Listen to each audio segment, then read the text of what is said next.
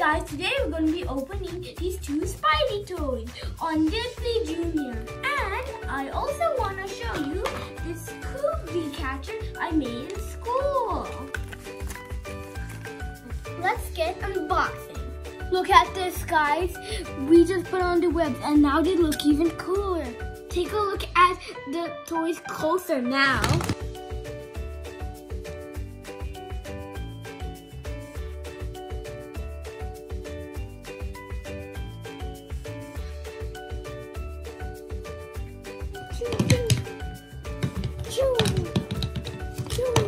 And you know you can also flip the colors of them.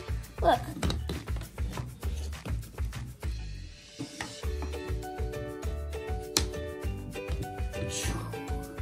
Purple Spidey, where go? Thank you guys for watching. Make sure to like, comment, subscribe for more